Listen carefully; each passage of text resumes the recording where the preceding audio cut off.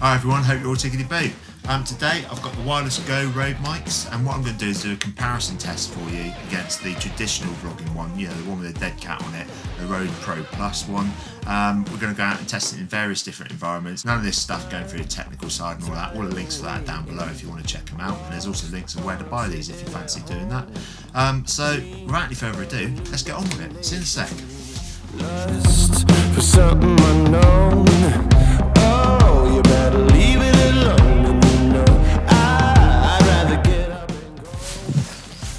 Right then, first test we're going to do is start up an engine and see on whether or not you can hear it, and hopefully you can hear it now. At the moment I've got the wireless go on, but let's get the engine started up. And I will just show you the setup we've got. Fire up the old uh, M50 here.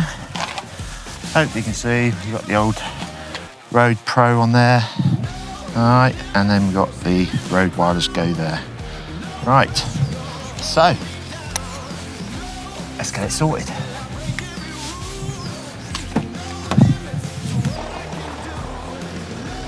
So that's the engine going, so you can get the sound of that. In a minute, I'm going to unplug this and do it on manual, and then we'll try it on the Rode uh, Pro Plus with the old hairy cat on it.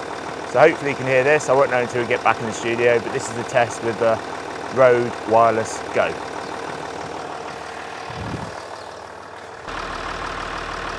That's the Rode Pro Plus plugged in, and that's the test of that. So we had the engine noise at the beginning, and now you've got me speaking over the top of it. So hopefully it's sounding all right as well. But we'll check that out when we get back to the studio.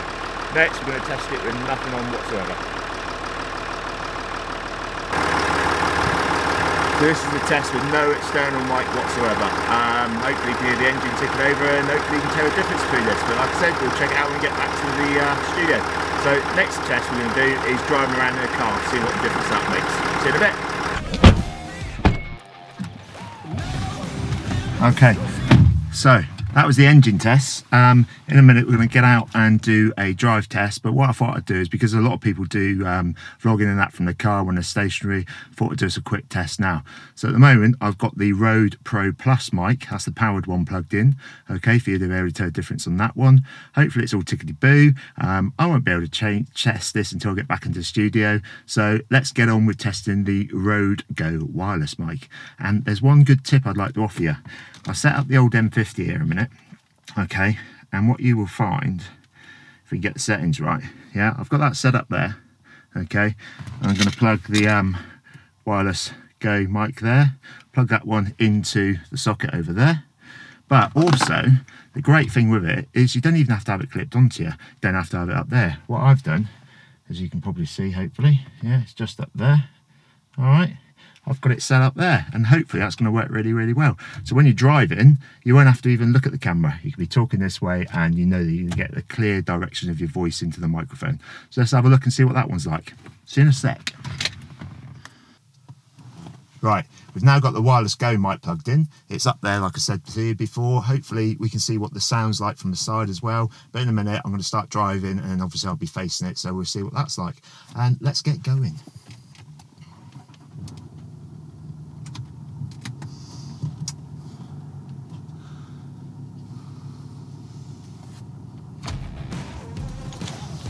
seatbelt first. Forgot about the old safety. Say hello to the neighbours as we go past them.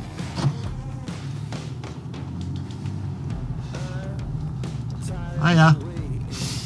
Anyway, um, let's just talk and ramble on, shall we?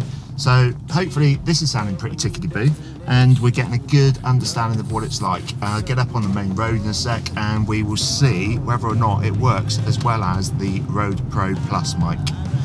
Go up to a junction now, so bear with me. And while I was editing this, I was going to cut this piece out, but I thought I'd leave it in since it was a real life review and give you a bit of a laugh. Plus, later on you'll see a bit of a drone crash, so make sure you stay tuned. See you in a sec. And yeah, let's go for it.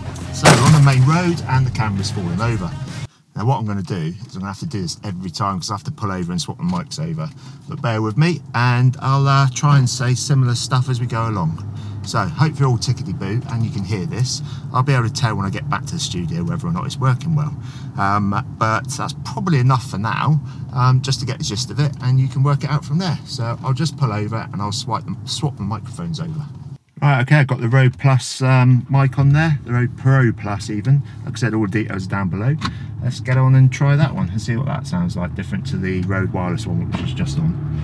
So, um, hopefully you can hear this and it's all tickety-boo. Try and use the same sort of sentences as we go along. And like I said, when we get back to the studio, we'll be able to test this out. And also, you'll be able to rewind this as much as you like and make your own mind up. But to be honest here, I still think the convenience of the wireless go one is um, better because it saves you having to plug in that great big furry cat on the top also it's a little bit um, more inconspicuous isn't it so if you're driving along like this with a great big EOS R camera sat in the front without the uh, old cat on the top I'm sure less people will actually realise that you're videoing anyway that's enough for now and I'm uh, gonna get somewhere else so that we can test it out probably near the sea so I'll see you in a sec come down the beach now. I'm to test it by the water. This is the setup we got. Let's get the M50 out.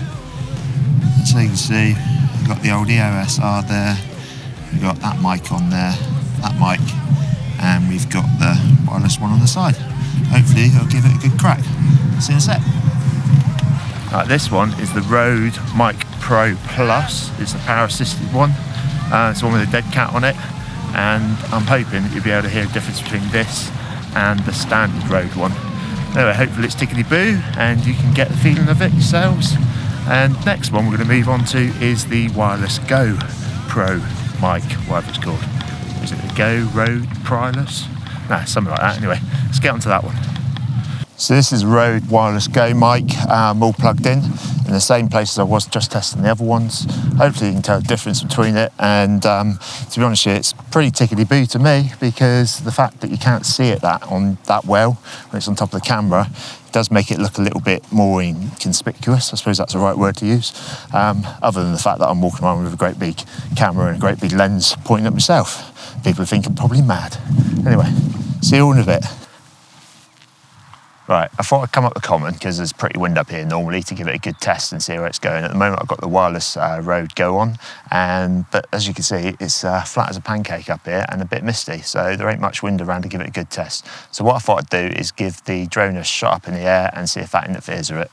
So let's have a look at that one. Take off.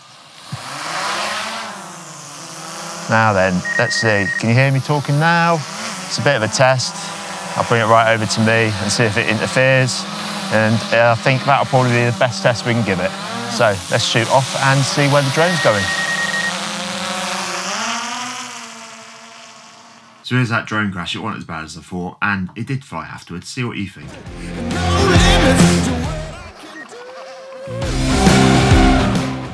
So after that little crash, what we've got is the Rode Pro Plus. That's the powered one, the old uh, dead cat on the top of it. That's plugged in now, so hopefully you can tell the difference between the sound. And like I said, I'll have a look at it when I get back to the studio. So let's have a look at what it's like with the drone going next to it.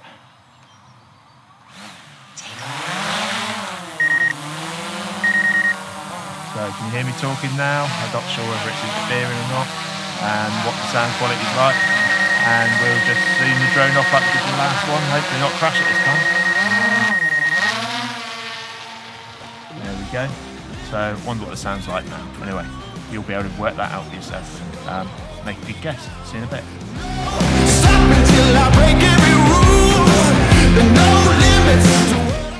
Right, there you go.